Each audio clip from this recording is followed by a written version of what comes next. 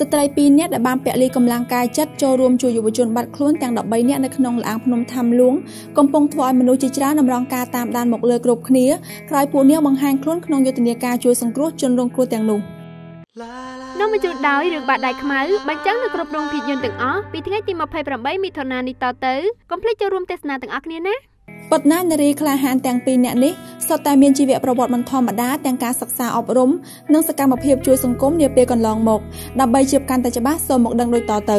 1 Jessica Ted នាងគឺជាទាហានកងទ័ពជើងអាកាសអាមេរិកដែលបានធ្វើដំណើរទៅកាន់ប្រទេសថៃជាមួយក្រុមការងារមកពីអាមេរិកប៉ាស៊ីហ្វិកដើម្បីជួយក្រុមក្មេងៗនិងគ្រូបង្វឹករបស់ពួកគេដែលបានបាត់ខ្លួននៅក្នុងលាងភ្នំក្រៅពីទឹកចិត្តក្លាហានសម្រស់របស់ Jessica ក៏បានទាក់ភ្នែកមហាជនជាច្រើនមិនចាប់អារម្មណ៍មិនបាន Jessica បានបញ្ចប់ការសិក្សាពីថ្នាក់បរិញ្ញាបត្រជំនាញ Art History ឆ្នាំសិក្សា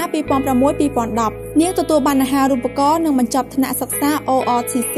ពីវិទ្យាស្ថាន Virginia Military បន្ថែមពីលើនេះនាងក៏បានឆ្លងកាត់វគ្គសិក្សាភាពជាអ្នកដឹកនាំសម្រាប់ស្ត្រីក្នុងសហរដ្ឋអាមេរិកផងដែរពីខែកញ្ញាឆ្នាំ2016មកទល់ពេលបច្ចុប្បន្ននេះ Jessica គឺជាប្រធានក្រុមនៅផ្នែកទំនាក់ទំនងសាធារណៈរបស់មូលដ្ឋានអាកាសចរ Kadena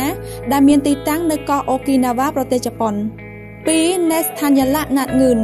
ស្រីស្អាតរូបនេះក៏មានប្រវត្តិមិនធម្មតាដែរត្បិតមានវ័យក្មេងក៏ពិតមែនប៉ុន្តែនាងមានទឹកចិត្តមោះមុតណាស់ នាងបានស្ម័គ្រចិត្តធ្វើជាជំនួយការរបស់ក្រុមប្រតិបត្តិការជួយសង្គ្រោះនេះ Nest និងក្រុមការងារផ្សេងទៀតបានជួយសម្រួលដូចជារៀបចំចាយបាយទឹកទឹកដោះគោបង្អែមនំចំណីថ្នាំការពារសត្វល្អិតស្រោមដៃការពារមេរោគនិងសម្ភារៈចាំបាច់ផ្សេងទៀតដែលអ្នកដែលមានកាតព្វកិច្ចចូលនៅក្នុងលាងភ្នំត្រូវការចាស់ស្ដែងបច្ចុប្បន្ននាងកំពុងបម្រើការជួនចិត្តក្នុងនាមជាប៉ូលីសនិងជាសមាជិកក្រុមសង្គ្រោះម្នាក់ដែរ Nes បានបញ្ចប់ការសិក្សាពីសាកលវិទ្យាល័យ Faculty of Humanity English Bangkok អ្វីដែលគួរឲ្យភ្ញាក់ផ្អើលជាងនេះទៅទៀតនោះ Nes គឺជាអតីតបេក្ខភាពវគ្គផ្ដាច់ព្រាត់របស់កម្មវិធីបវរកញ្ញាចក្រវាលឆ្នាំ2012របស់ប្រទេសថៃ